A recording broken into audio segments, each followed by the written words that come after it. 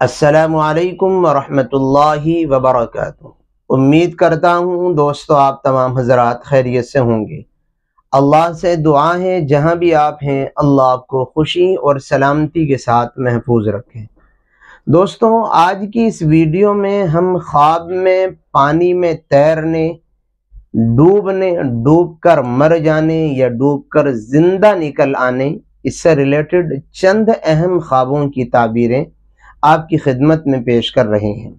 اور اس ویڈیو کو آپ پورا دیکھیے گا۔ اس ویڈیو کے اخیر میں ہم آپ کو یہ بھی بتائیں گے کہ اگر آپ اپنے کسی خواب کی تعبیر ہم سے جاننا چاہیں تو اس کا کیا طریقہ ہے۔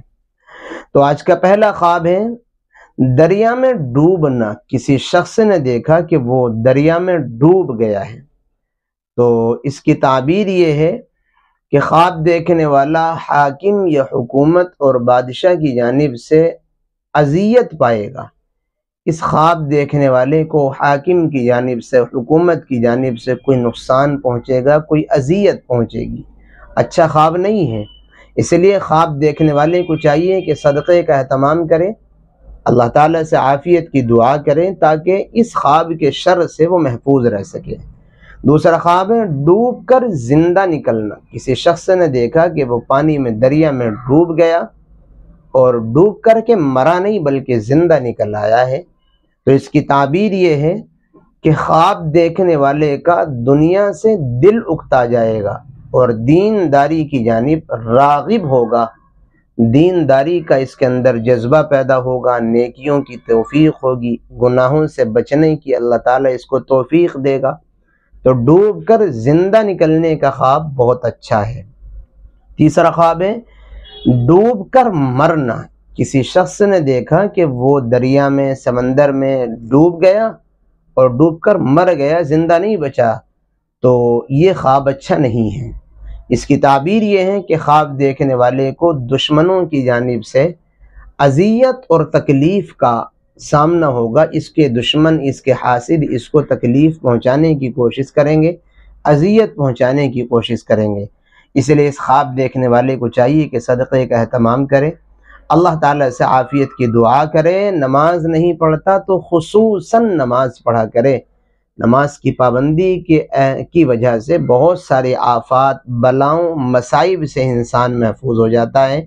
اور نماز چھوڑنے کی وجہ سے ڈھیر سارے مصائب، پریشانیاں، آفات انسان کو گھیر لیتی ہیں۔ اس لیے نماز کا ہر مومن، مرد، عورت، بالغ کو ضرور اہتمام کرنا چاہیے۔ چوتھا خواب ہے، سمندر میں تیرنا۔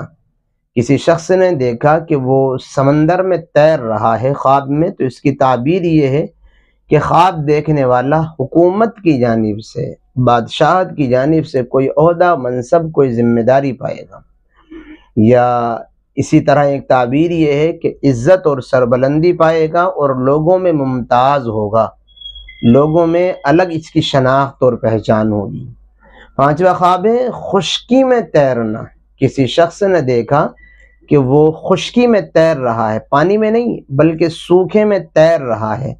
تو اس کی تعبیر یہ ہے کہ خواب دیکھنے والا قید ہوگا۔ قید میں اس کو خوب مشکلوں اور اذیتوں اور تکلیفوں کا سامنا بھی ہوگا۔ اس لیے اس خواب دیکھنے والے کو چاہیے کہ صدقے کا اہتمام کرے۔ اللہ تعالیٰ سے اپنے لیے عافیت کی دعا کریں۔ تو دوستو، یہ ہم نے آپ حضرات کی خدمت میں ڈوبنے، ڈوب کر مرنے، زندہ نکلنے یا تیرنے وغیرہ سے ریلیٹڈ اہم خوابوں کی تعبیریں پیش کی ہیں۔ امید کرتے ہیں کلپ آپ کو پسند آئی ہوگی۔ دوستوں سے شیئر کیجیے۔ اگر آپ ان خوابوں کے علاوہ ہم سے کسی اور خواب کی تعبیر جاننا چاہتے ہیں، تو اس کا طریقہ یہ ہے کہ آپ ہماری کسی بھی ویڈیو کی کمنٹ سیکشن میں اپنا خواب لکھیں۔ اور لکھتے ہوئے یہ بتائیں، خواب مرد نے دیکھا یا عورت نے؟ شادی شدہ ہے یا کوارا ہے کس وقت خواب دیکھا، رات میں یا دن میں؟ سونے سے پہلے استخارہ تو نہیں کیا تھا؟